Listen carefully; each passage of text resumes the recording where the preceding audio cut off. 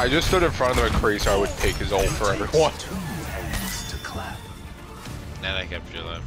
And Chase kept me alive. Alright, I need. Tell me who gets played the game 1 pin. If it's hit, I'm gonna tell you.